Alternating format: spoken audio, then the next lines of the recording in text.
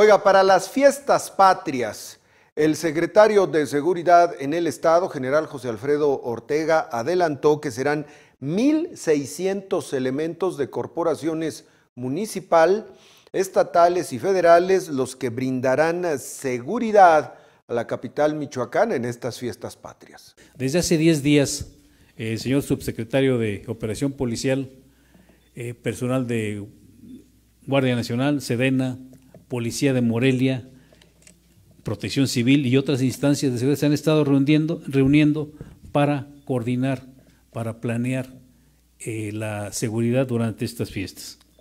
Para el dispositivo de seguridad implementado de manera interinstitucional en el marco de las fiestas patrias en la capital michoacana, informamos que tendremos desplegados más de 1.600 elementos de la Guardia Civil, Ejército Mexicano, Guardia Nacional, Policía Municipal, Fiscalía General del Estado y los propios cadetes del Instituto Estatal de Estudios Superiores en Seguridad y Profesionalización Policial.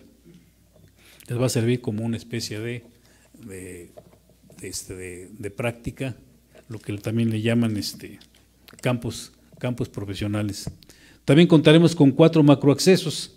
El primero, que los pueden ver ahí, está en, la, en las calles Galeana y El Nigromante. El segundo entre Virrey de Mendoza y Pino Suárez. El tercero y cuarto estarán en la calle Corregidora entre Abasolo y García Obes. Habrá presencia de binomios caninos para realizar barridos de seguridad previos y posteriores a las festividades.